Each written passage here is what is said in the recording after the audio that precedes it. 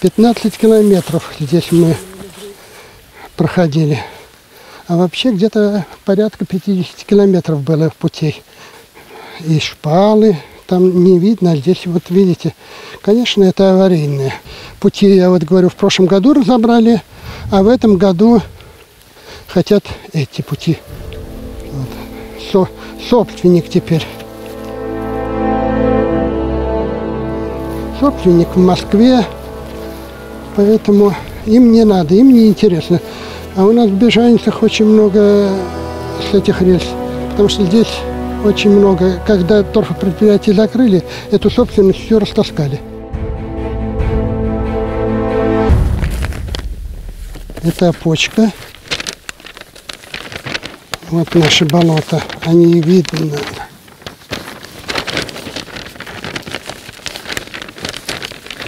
Вот сейчас мы идем вот по этому пути. Вот этот путь.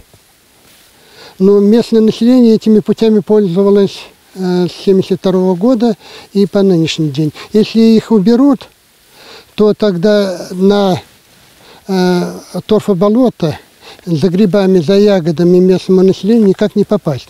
И главное то, что там в конце этого пути, которое 15 километров, это, вот, есть э, кладбище, на которое до сих пор еще э, живые родственники приезжают. Туда иначе не попасть будет.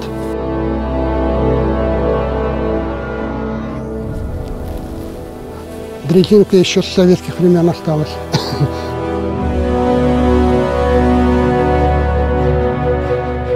Вот по этому пути были здесь вагончики, чего-то я их не вижу. Ни одного. Наверное, все на металлолом сдали. Вот. И вот такие дрезинки были. На этих шпалах работал и я в свое время, будучи комсомольцем. Мы зарабатывали деньги так. Поэтому и мой труд здесь вложен.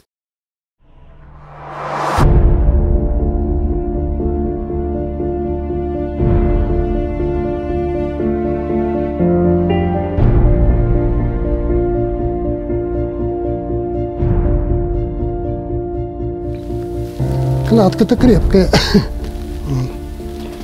Я уезжал отсюда, здесь было у нас контора предприятия, уже действующего. Полностью первый, второй этаж. Герметизация плохая, и вода стоит до сих пор.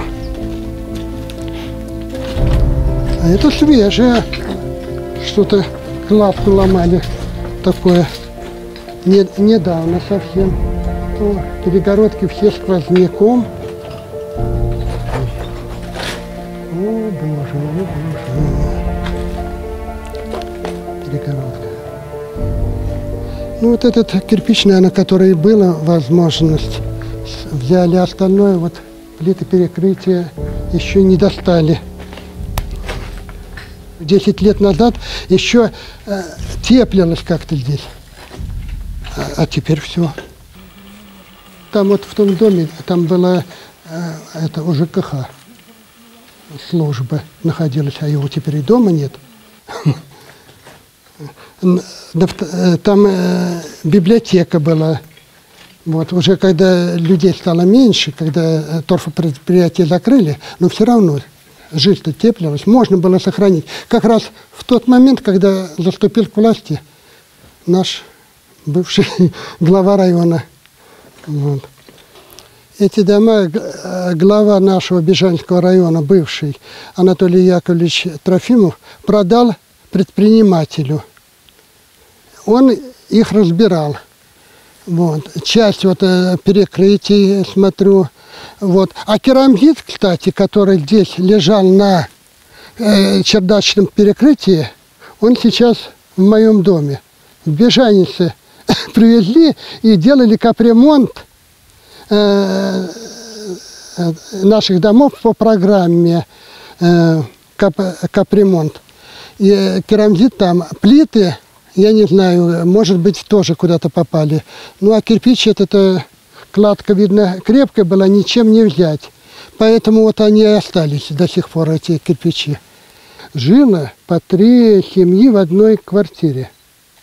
Вот. Было население, я говорю, доходило до 900 человек. Вот. И все дома были вот эти пять домов, которые, от которых осталось только развалины два, двух. Если бы думали наши руководители, что можно было эти дома сохранить. Вот развалинки. Вот два остатки от этих домов, вот, которые в 72 году я, я даже здесь штукатурил, учился. А теперь нечего здесь. Жалко, жалко. Ну, слов нет. Жалко. Но об этом нельзя говорить, как вчера э, этот Медведев сказал. О трудностях нельзя, э, прошу не говорить, или как-то так он.